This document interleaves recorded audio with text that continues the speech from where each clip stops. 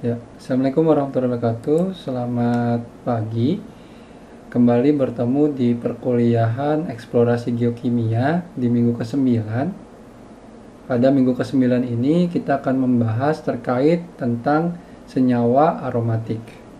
Jadi dalam perkuliahan ini kita akan membahas terkait bagaimana struktur kimia dan ciri di kromatogram serta kegunaan uh, senyawa aromatik pada uh, analisis geokimia migas khususnya untuk sebagai penunjuk kematangan. Nah, ini adalah contoh dari beberapa senyawa aromatik yang ada.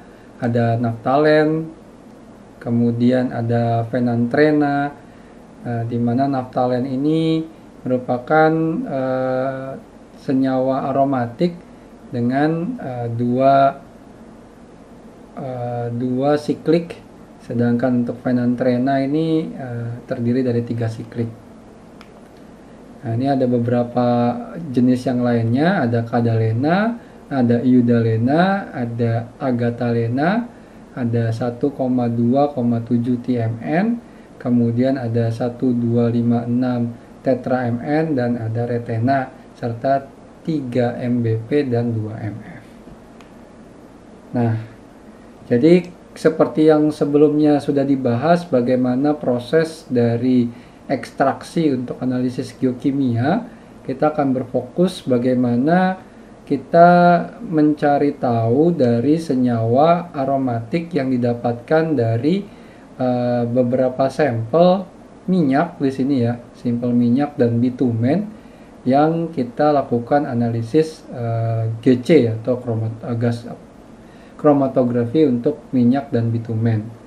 Nah, nanti kita akan dapatkan aromatik di sini sehingga kita akan dapatkan thin layer untuk kromatografi untuk kita uh, fraksi nuklir DI, uh, D dan tri. Dan baru masuk ke proses GC atau GCMS setelah uh, senyawa aromatik kita analisis.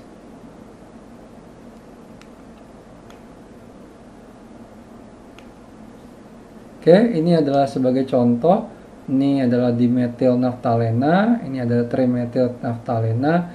Artinya cuma membedakan ada uh, alkil. Dalam hal ini alkilnya adalah metil, ini sebanyak dua dan ini adalah sebanyak tiga. Nah, ini untuk yang fenantrena. Jadi fenantrena kan lebih banyak ya dibandingkan uh, naftalen ininya uh, sikliknya sehingga dia sampai angka 9. Nah, ini salah satu contoh bagaimana senyawa aromatik menggunakan GCMS tapi hasilnya agak kurang baik ya karena terdapat BAM di data kromatografi yang kita punya. Nah, ini kita dapatkan dari data bongka oil. Nah, kita akan dapatkan ini beberapa jenis naftalena. Ini jenis yang eh,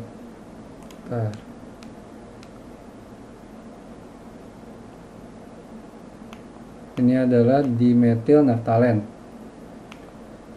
ini contoh lagi kita bisa lihat di sini ada data eh, angkanya di sini ya corrected sampai 3493 sama 1876 untuk data-data yang kita punya untuk peak 1, 2 sampai peak 7 ini untuk yang trimetil naftalennya kita dapatkan angkanya ini sama yang trimetil naftalen ini peaknya dan tetapi peak yang lain tidak terlalu bagus sehingga uh, tidak dapat kita analisis secara lebih rinci. Untuk yang uh, Venantrena ini yang sampai 9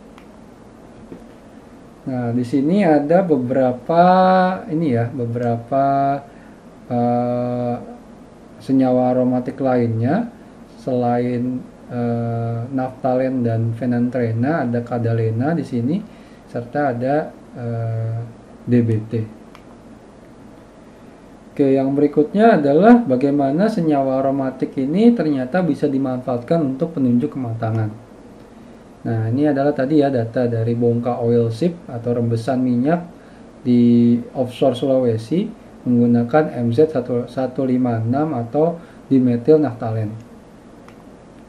Nah, ini adalah sebagai ini ya, sebagai parameter penunjuk untuk kita bisa ketahui bagaimana uh, isomer rasio ini bisa menunjukkan dia berada di kematangan minyak atau dia berada pada fase uh, kematangan untuk wet gas. Di sini kita pakai DNR, TNR, MPI 12 dan RC.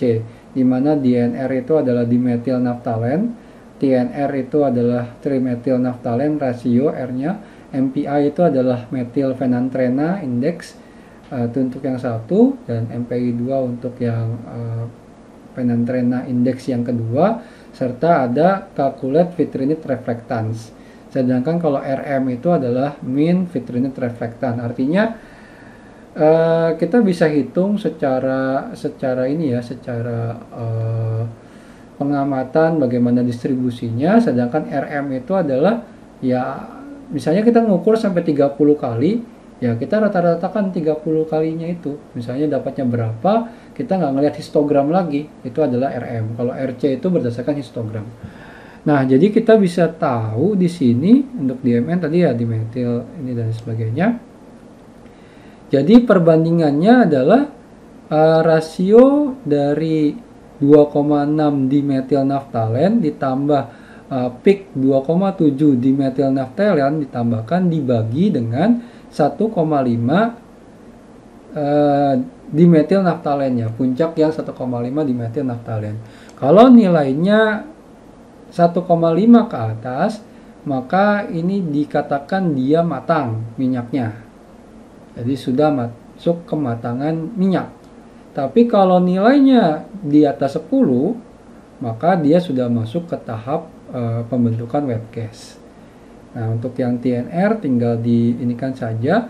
Kita cari yang PIK 146 TMN ditambah dengan PIK 135 TMN dibagi dengan PIK 236 TMN. Nah, rasionya adalah 0,5. Sedangkan untuk wet gas adalah 4. Nah, untuk yang metil fenantrena yang satu itu menggunakan 1,5 kali uh, 2 metil fenantrena ditambah 3 metil fenantrena dibagi fenantrenanya ditambah dengan pik 1 metil fenantrena ditambah pik 9 metil fenantrena. Nilainya sama untuk top oil generationnya 0,3 untuk wet gasnya adalah 1 nah untuk MPI 2 ini uh, rumusannya sedikit berbeda. Kita nggak pakai uh, 3 MP ya. Jadi langsung dikalikan 3 kali 2 uh, peak yang 2 metilfenantrena dibagi P ditambah 1 peak 1 metilfenantrena ditambah 9 metilfenantrena. Jadi yang membedakan hanya tidak menggunakan uh, peak dari 3 uh, metilfenantrena. Jadi langsung 1,5 langsung dikalikan 2. Dianggap 3 metilfenantrena dengan 2 metilfenantrenanya itu sama. Tapi yang membedakan hanya di wet gasnya saja. Jadi untuk MPI 2, wet gasnya harus di atas 2. Nah ini adalah bagaimana karakteristik atau parameter kematangan dari metilfenantrena.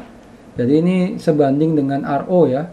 Jadi kalau seandainya kita dapatkan nilai ini ya, se, apa satu di sini gitu kan, ini akan kita dapatkan nilainya untuk uh, ekuivalen RO-nya sama dengan 1,7.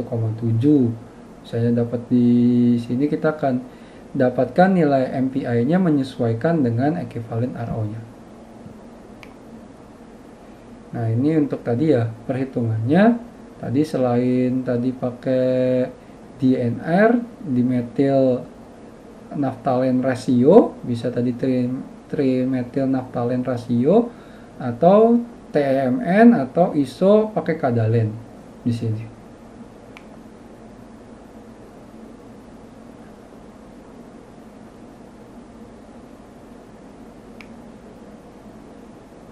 Nah, ini nilai-nilainya untuk bisa menghitung e, parameter kematangan dari minyak ataupun gas. Oke, uh, mungkin dicukupkan untuk perkuliahan minggu ke-9 ini.